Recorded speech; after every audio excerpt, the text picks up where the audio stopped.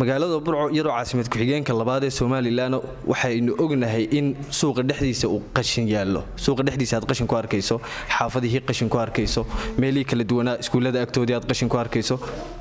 Miyaa xog haya weli tahli ladihiin ama miyaa weli fulin kari ladihiin? Go'aankiinnii ahaa in magaalada burco la nadiifiyo qashinkana laga nadiifiyo.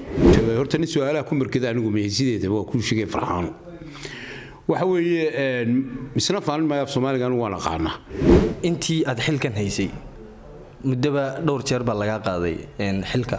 Loona soo magacaabay xoghayaal kale. Isla markii muddo kooban markay joogeen waa la bedelay xoghayaasha.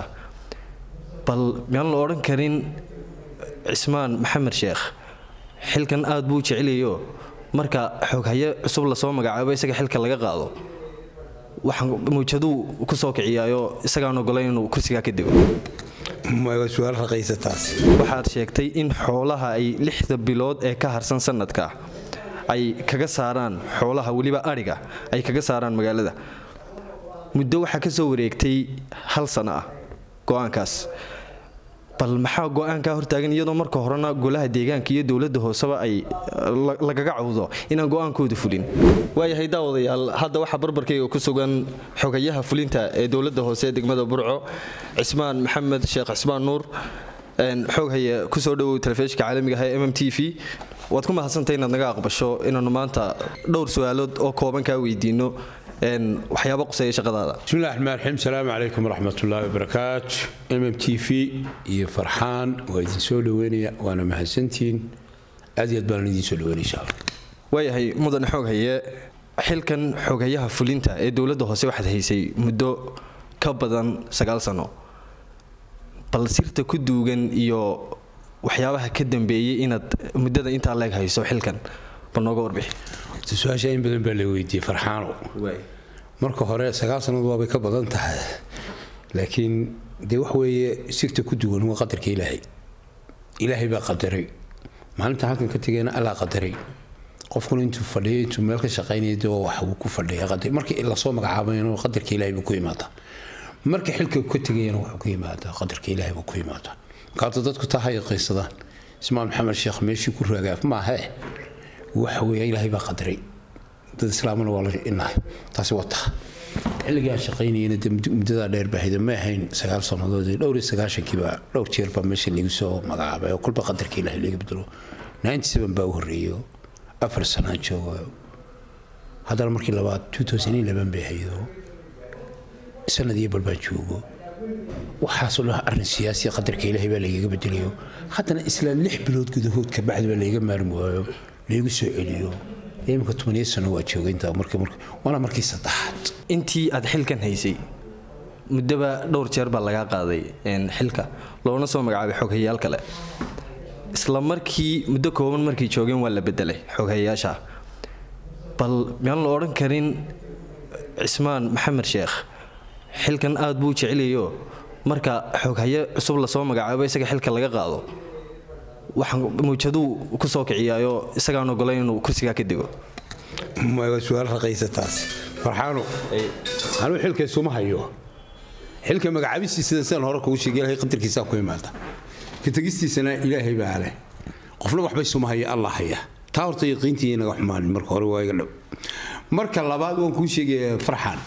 Waxa weeye anigu dee dowladdan hoose burco xilligaa la soo magacaabay farxaanka imika ay warasani aad baan uga yaraa inan yar bana maanta cirada igu taallaana waa shaqada ballaaran intaa dowladda hoose leeda waxna wax ciyaar ciyaara maaha ummaddan baad shaqa u haysaa mas'uuliyadooda u haysaa. Degmadaa dhan baa mas'uuliyaddeeda iyo fulinteeda lagaa rabaa markaad xoogayata. Xogayaasha aad leeda waa la bedbedelaana dee ilaahay baa bedelay ama shaqada ha ku haftaan oo ha waayaan ama si kalaba ha loo bedelo dee qadarka ilaahun baa lagu bedelaa in kale odayga sheegaysaana dee waxa weeye qadarka ilaahay buu ku joogaa. Shaqadana waa aragnimo badan oon dadka kale lahayn baan u leeyahay. Kuwa arag anigoo caruuraa laysoo magacaabay waan ku ababay waan ku bartay shaqada. Shaqooyin badanoo ka horreeya soo qabtay mas'uuliyad badan oo soo qabtay hore way jirtaa. Laakiin shaqadan anigoo ina yaroo caruura sideed toban jira laysoo magacaabay oo kuu sheegayaa waayahay xog haye haddii aan su'aal kale ku weydiiyo waxaad hadashay sideedii bishii sebtembar ee qaar ka mida warbaahinta ayaad xafiiskaagan kula hadashay. Waxaad sheegtay adigoo digniinna u diraya bulshada magaalada burco. Waxaad sheegtay in xoolaha ay lixda bilood ee ka harsan sanadka ay kaga saaraan xoolaha weliba adhiga ay kaga saaraan magaalada. Muddo waxaa ka soo wareegtay hal sano ah go'aankaas bal maxaa go'aankaa hortaagan iyadoo marka horena golaha deegaanka iyo dowladda hooseba ay lagaga cawdo inaan go'aankooda fulin? Waa su'aal aada u wanaagsan. Su'aashaas si yaroo fudud baan uga jawaabay horta nin su'aalaha ku markada anigu mehesideedaba waa kuu sheegay farxaano. Waxa weeye misna faalin maayo af soomaaliga anigu waan aqaanaa waxaan se kuu sheegayaa taa jawaabteedu waa wax iska fudud. Horta marka hore xoolahan laga saarayo iyo wixii la midaba waxa laga ansixiya golaha deegaanka golaha deegaanka ayaa kalfadhi ka yeesha. Maaha wax xoghayuu iska yidhaahdo ama maayarku iska yidhaahdo. Ama guddiga fulintuba iska tirahdee waa wax golaha deegaanka aan soo hordhigno la ansixiyo.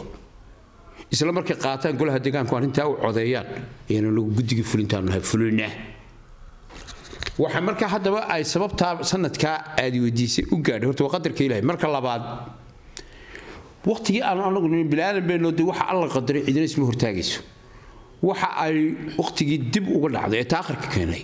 Duruuf abaareed oo culus oo culus qof kastoo caqli lagu garanayaaye duruuf abaareed baa ayaa dalka ka dhacday. Si gaarana gobolkan way u saamaysay.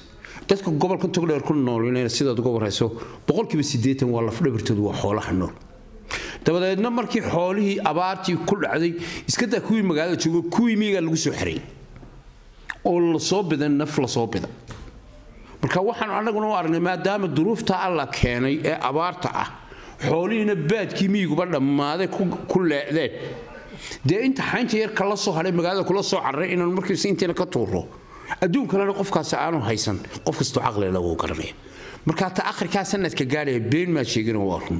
Balse laakiin waxa keeno sababay waa abaarta ilaahay subxaana wa tacaala inkastoo roobku meelo badan iminkada aynu joogno gobolkan aan roobka helin. Haddana laakiin abaartii taagneyd ilaahay badankeedii waa naga soo jebay iminka qorshaha iyaga socdaa waanu wadnaa. Haddada aad hadlayso xoolihii waa la xaraynaya magaalada waa laga saaraya.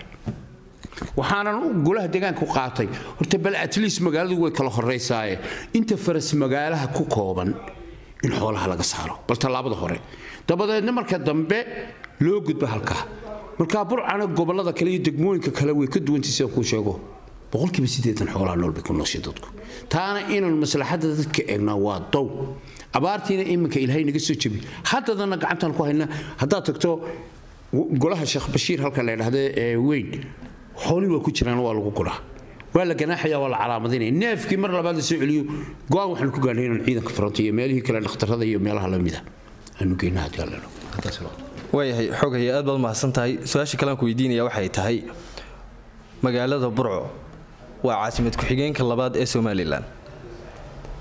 Bulshada ku nool waxaa ka qaadaan cashuur. Siday doonta ha noqoto cashuurtaasi.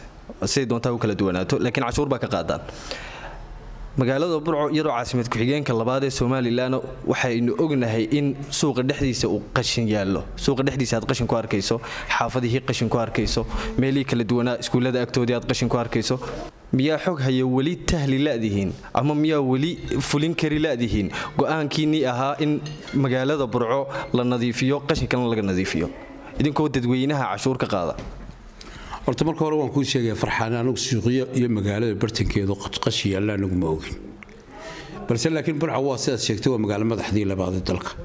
Bableeshinkeeduna wuxuu ka badan yahay ilaa lix boqoloo kun waa ka badan yahay bableeshinka magaalada burca ku noole dhismaheeda iyo tarankeeduna maalin waa maalinta ka dambeysa wuxuu sameeyaa tadawur. Intaas marka dhacdana dabcan qashinku uu badanaya anagu ololaha xitaa maalin kasta khamiista imika waxaanu samaynaa oo maantada aynu jirna imika ololaha socda nadaabadeed wiikli baan u qaadnaa dadka qodobka keliya laisweydiinaya waxa weeye dadka reer burco waxay caadaysteen. Oo in badan aan markhaati miidiya uga sheegnay iyagoo laftooda nooga yihiin.